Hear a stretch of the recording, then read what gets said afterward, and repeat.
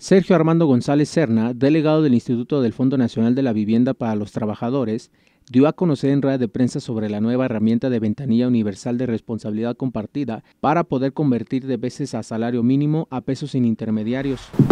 Como ya les dije, se espera beneficiar a 2.6 millones de créditos, a 2.6 millones de mexicanos y mexicanas que tienen sus créditos en, salarios mínimos.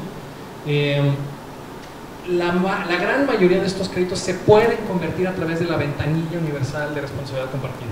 Explicó que la tasa de interés es fija y diferenciada según el ingreso de la persona. Además, los pagos son fijos durante el plazo elegido. Ya esto les va a dar certidumbre, ya no van a tener que estar esperando el aumento en el salario mínimo o el aumento en la inflación, que cada enero era, era pues una especie de tortura para los trabajadores que tenían su crédito en salarios mínimos. Eh, esto ya no va a ser así, las mensualidades y los saldos estarán fijos por el resto de la vigencia del crédito.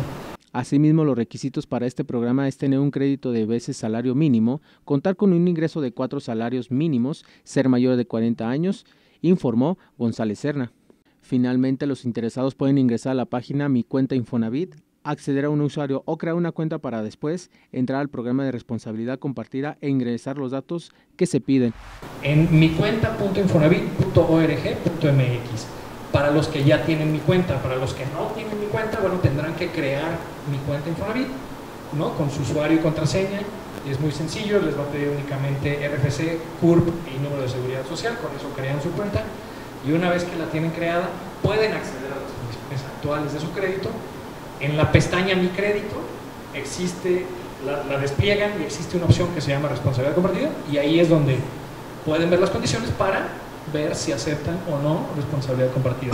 Con imágenes de Alan Pineda, informó para Quiero Noticias Eric Ramírez.